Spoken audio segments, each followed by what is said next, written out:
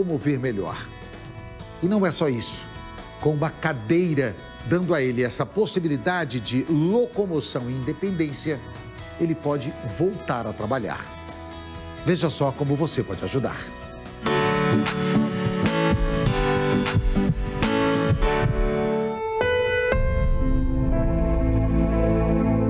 Pedro teve que acostumar a viver na cadeira de rodas. Até os 12 anos, ele brincava na rua, jogava bola e corria no pátio da escola. De repente, o corpo começou a mudar e os músculos foram perdendo a força. Foi muito triste quando perdi os movimentos. Aí foi enfraquecendo os nervos. Aí teve um tempo que eu parei de andar. Aí eu, eu estudava na NPR de Maringá. Aí eu perdi meus movimentos, aí comecei a andar, andar na cadeira de roda. E vai envelhecendo, vai perdendo os movimentos. Aí eu preciso de uma cadeira motorizada. O Pedro é o caçula da família. Ele tinha outros dois irmãos, Anderson e Carlos. Os dois desenvolveram a mesma doença e acabaram falecendo. Perdi com uns 12 anos. Eu tinha irmão assim também que faleceu, os dois, por causa do problema. Eu tinha tio assim também, morreram também. De família, sim. Só não dá em mulher o problema. Só dá em homem. E se a minha filha fosse homem, ia ser também, na cadeira de roda também. O mesmo problema que eu tenho. Aí fica difícil, né? Ele não consegue trabalhar e vive com o auxílio do INSS. Em casa, ele ajuda com algumas tarefas, naquilo que a limitação física permite. Limpa a casa, é, lava a louça, é, barro quintal. O Pedro Henrique tem uma doença muscular genética. Ao longo do tempo, ele foi perdendo o movimento dos braços e das pernas. E quanto mais o tempo passa, mais dependente ele se torna.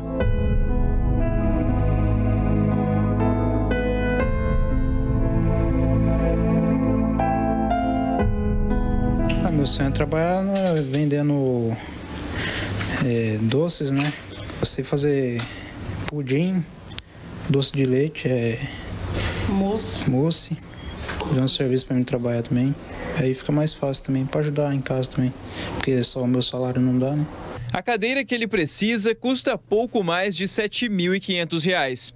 Com ela, o Pedro poderia voltar a andar pelas ruas de Paysandu, onde ele cresceu, e em casa brincar com a filhinha de apenas 3 anos. Vai ser mais fácil para mim se locomover, né? Andar com a minha filha, passear. Porque eu dependo da minha mulher para me empurrar, né? Aí fica difícil.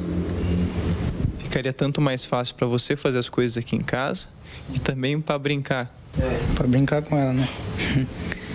Aí fica mais fácil.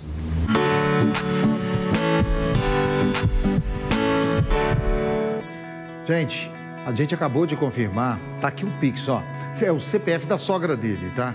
Você vê aí que nós podemos fazer a diferença na vida dele e não só na vida dele, mas na vida de toda a família.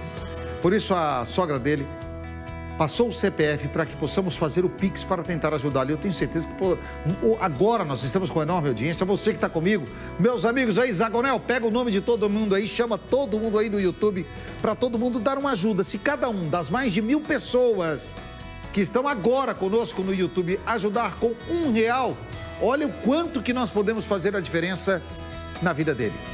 O CPF 044 195 219-45.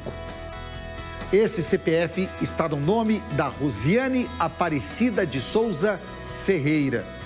Relembrando, ele, ele possui uma doença chamada distrofia de Duchenne. É uma doença grave e degenerativa e que vai atrofiando os músculos, impedindo ele de ter uma locomoção, de ter uma possibilidade de independência e uma cadeira motorizada hoje custa cerca de R$ 7.500. Vamos ajudá-lo? São só R$ 7.500 e a gente pode ajudá-lo. Sabe aquela sensação de poder fazer o bem diante de tantas coisas ruins que nós vemos? Às vezes você quer ajudar. E eu quero te dizer algo mais.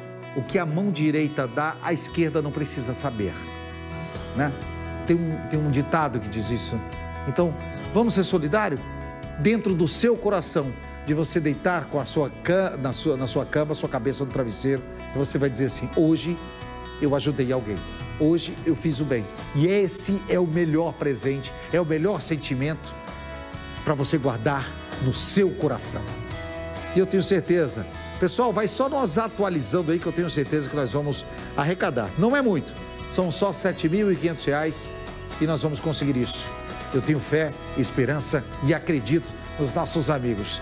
Zagorã, chama o pessoal aí que está no YouTube, a turma que estava aí participando bastante, o Marcos, o Reinaldo, que está hoje com a língua afiada, o Paulo Cassiano, o Robson e toda essa turma, a Maria, a Silvana. Rapaz, vamos que vamos que eu confio em vocês, tá bom? Enquanto isso,